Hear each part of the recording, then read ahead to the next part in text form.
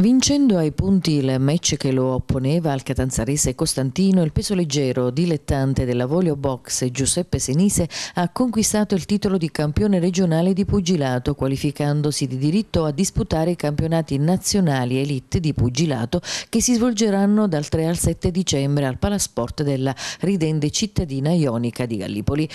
Il 22enne Senise, fin dal suono del primo gong, ha imposto al combattimento ritmo e velocità che hanno disorientato non poco l'idolo locale, salito sul quadrato sicuro di poter vincere e dare ai suoi supporters una convincente prova di superiorità. Così, dopo un'assenza di quasi dieci anni, la Volio Box, grazie al suo bravo e temerario lupetto del Pollino Giuseppe Senise, ritorna ai vertici della grande box dilettantistica italiana. Gli ultimi erano stati stati i fratelli Domenico e Vincenzo Alfano, Maurizio e Gaetano Greco, dimostrando ancora una volta la validità tecnica della scuola castrovillarese.